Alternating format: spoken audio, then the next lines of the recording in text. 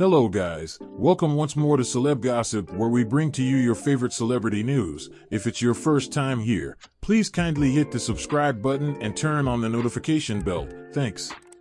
Johnny Depp was one of the main celebrants as his close friend Shane MacGowan was cremated this afternoon.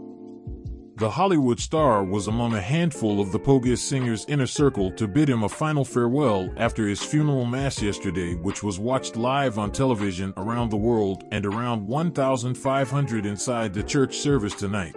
Shane's ashes were placed in the River Shannon. Johnny was in state mourning until the early hours of the morning at the modest thatched cottage pub on Ballycommon with about 250 other mourners. A source said Johnny has shown his love for Shane throughout his time in Ireland. His respect for Shane was there for all to see. In the aftermath, he spoke to everyone who approached him. But he didn't get up and sing with a Celtic band. Victoria is not surprised by the way Johnny is handling things because she knows all about the affection he has for her husband.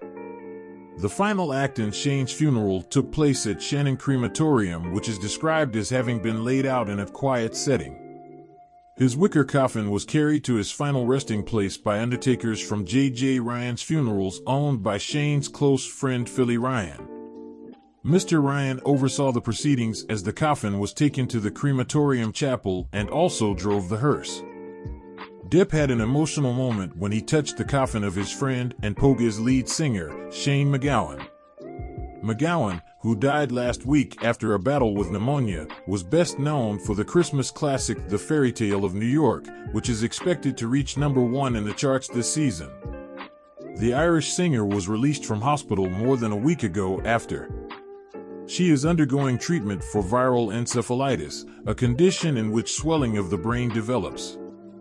His funeral was held yesterday, December 8, on what would have been Sinead O'Connor's 57th birthday. The Mass at St. Mary of the Rosary Church in Nenagh, County Tipperary, was attended by a large number of celebrities such as Nick Cave, Bob Geldof, and Deb.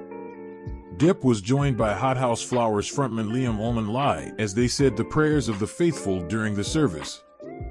The Pirates of the Caribbean star previously attended MacGowan's wedding to Victoria Marie Clarke.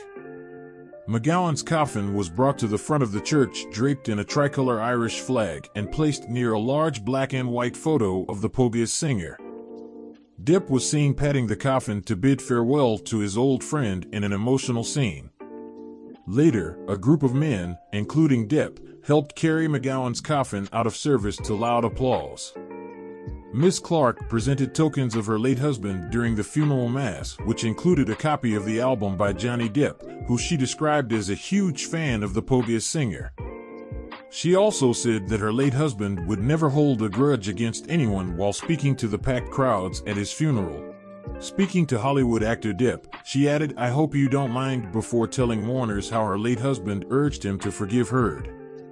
I hope you don't mind me saying this, Johnny, but when Johnny had a court case involving his ex-wife Amber, Shane had a long conversation with you, didn't he, and urged you to forgive Amber, Ms. Clarke said.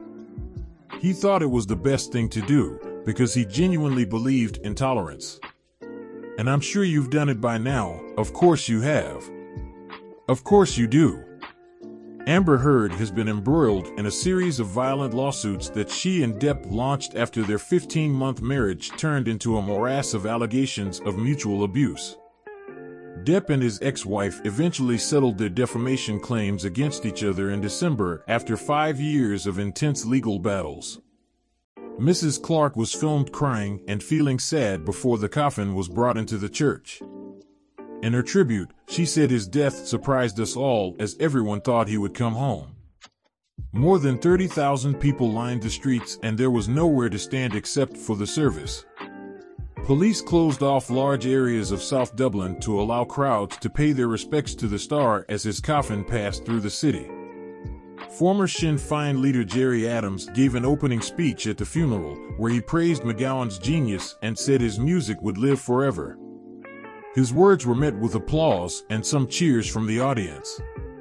Sheen began his journey in a horse drawn carriage from South Lotts Road and traveled via Pearse Street to Westland Row, giving fans who loved him dearly the opportunity to say their final farewell. Mourners applauded as the funeral procession passed McMahon Bridge in Dublin, with Fairy Tale of New York and A Rainy Night in Soho blaring from a loudspeaker in tribute to the fallen musician. Members of the public threw flowers and musicians played a pair of brown eyes as the funeral procession passed Sweeney's Pharmacy in central Dublin, which featured in James Joyce's novel Ulysses. Outside Sweeney's Pharmacy in central Dublin, she led a group of mourning musicians in a somber rendition of Pogues's Christmas classic Fairy Tale of New York. Mourners, many of whom carried pictures of Shane MacGowan, sang Dirty Old Town after his funeral procession through the streets of Dublin. At one point, the funeral procession paused on Westland Row while Artane's band played his Christmas hit Fairy Tale of New York.